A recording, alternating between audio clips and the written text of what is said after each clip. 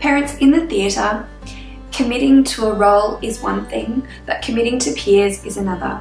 So we want you to please acknowledge that your child will be taught that they are part of a, a team that is full of unique and individual people who bring something new, different, special to the production process.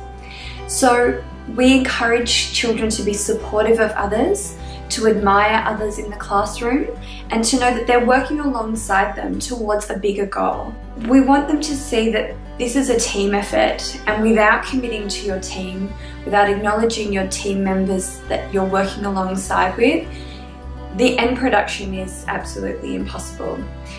They, as children, have individual responsibilities because they each have a role to play, but they can't see that role, and they shouldn't see that role, as any bigger or any smaller than anybody's role in the production process. We as teachers will do our best to um, make sure that every lesson, every rehearsal, they are feeling um, acknowledged, they are feeling like they are developing their skills and developing their scenes.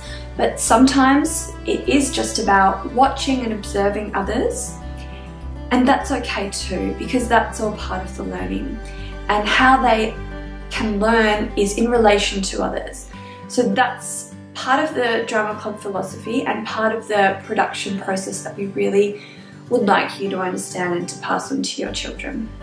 Part of the production process, we allow the children to choose and to create, to design their own costumes based on their analysis of the character that they're playing in the production. We feel that this gives them ownership over the character and over the process.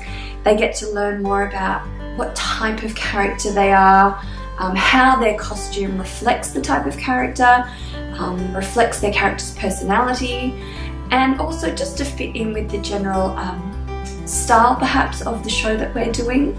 Parents, this is not supposed to be a costly exercise for you, but it is supposed to be a, uh, a chance for you to connect with your child on their creative, creative journey and for you both to come up with uh, something that is unique to your child's um, imagination.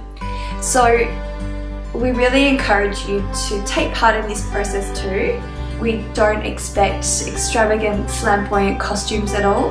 Um, we just appreciate that you and your family, um, your grandparents or your friends are actively involved in helping um, this process take place and that could mean going off to the op shop, sourcing out new materials, um, designing on a piece of paper together, uh, so that really excites me that your child and you are um, coming together and, and building something together based on what they really feel passionate about.